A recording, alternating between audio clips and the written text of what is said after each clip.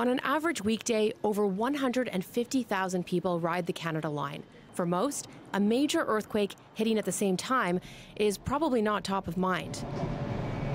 Little did these riders know, a series of simulated earthquakes have been taking place under their feet. Major earthquake. Mainline, please perform a system hold. This is the Canada Line Control Center, where a very important test is taking place. Attention all staff. Early earthquake warning. All fare gates open emergency mode. Once done, start disabling elevators. Okay, everybody under your And remain calm. And the first thing that we would do is get those trains uh, to stop as close as possible to a station. Um, and depending upon where they are, um, you know, and how much time we have, that may be very possible. Uh, why at a station? That's the safest place for those trains to be. All of this is part of a collaboration with Ocean Networks Canada, the research group from the University of Victoria that was awarded $5 million almost three years ago to develop an earthquake early warning system for southwestern British Columbia. Since then, the group has installed eight seismic sensors right along the ocean fault line floor and 32 land based seismic and GPS sensors on Vancouver Island. And they've created a system that will estimate how powerful an earthquake is and issue a warning to a network of alarms across BC, indicating how much time before the damaging waves hit. Here's how the earthquake early warning system works. When the big one hits, that's the magnitude 9.0 megathrust earthquake that will occur along the Cascadia subduction zone off the coast of Vancouver Island, Ocean Network Canada's sensors will pick up those earthquake waves of energy at the moment they're triggered.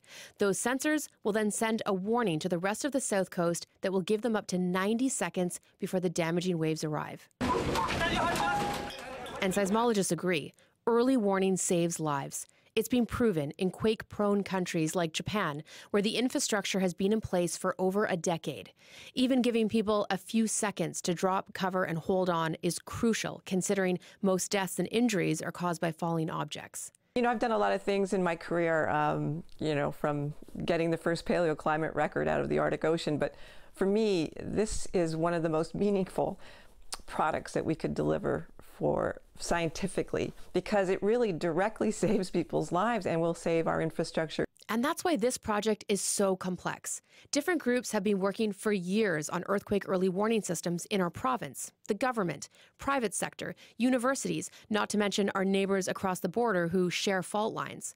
Ocean Networks Canada's job will be to continue to bring all these groups together as part of one cohesive network. On March 31st, 2019, Ocean Networks Canada says the system will be installed, tested, and delivered to Emergency Management BC ready for other major infrastructure and eventually every individual to get that early warning and figure out what they need to do with those few precious seconds. When the earthquake hits British Columbia, I really hope that people will have had a heads up warning, even a few seconds, to be able to take action. And, and it will still be devastating for British Columbia. But if earthquake early warning can help save even a single life, uh, prevent some damage, it's been well worth it. So a massive effort, Johanna. What is needed in order for this system to be fully rolled out and for you and I, everyone else, to get this warning as an alert on our cell phones? Well, Dan, I think we're just uh, one to two years away from actually getting that alert as part of the National Alert Ready system that just rolled out in the spring. So, very soon, we will get that text message that says how many seconds you have before the damaging waves arrive. But a couple things need to happen. First of all, right now, the system only warns for the big megathrust earthquakes, the big one that will happen on the ocean floor.